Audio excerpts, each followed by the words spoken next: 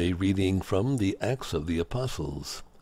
After much debate had taken place, Peter got up and said to the apostles and presbyters, My brothers, you are well aware that from early days God made his choice among you, that through my mouth the Gentiles would hear the word of the gospel and believe. And God, who knows the heart, bore witness by granting them the Holy Spirit, just as he did us. He made no distinction between us and them, for by faith he purified their hearts.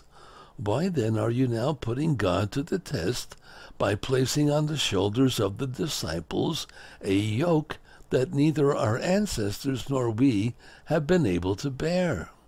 On the contrary, we believe that we are saved through the grace of the Lord Jesus, in the same way as they.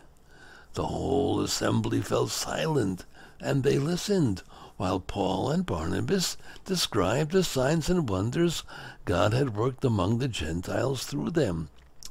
After they had fallen silent, James responded, My brothers, listen to me.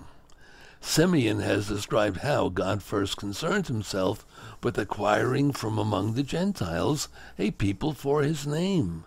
The words of the prophets agree with this, as is written, after this I shall return and rebuild the fallen hut of David. From its ruins I shall rebuild it and raise it up again, so that the rest of humanity may seek out the Lord, even all the Gentiles on whom my name is invoked. Thus says the Lord, who accomplishes these things known from of old.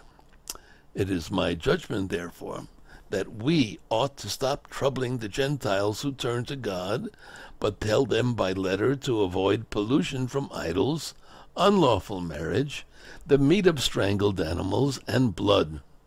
For Moses, for generations now, has had those who proclaim him in every town, as he has been read in the synagogues every Sabbath. The word of the Lord. Thanks be to God.